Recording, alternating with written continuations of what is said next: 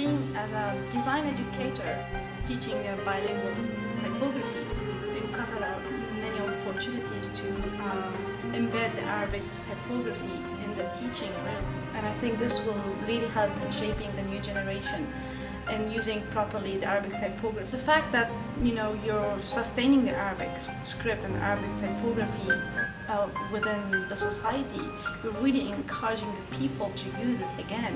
So it will never be lost among all this kind of polyglot, you know, an interesting, you know, um, opportunity to sustain the Arabic, the Arabic language.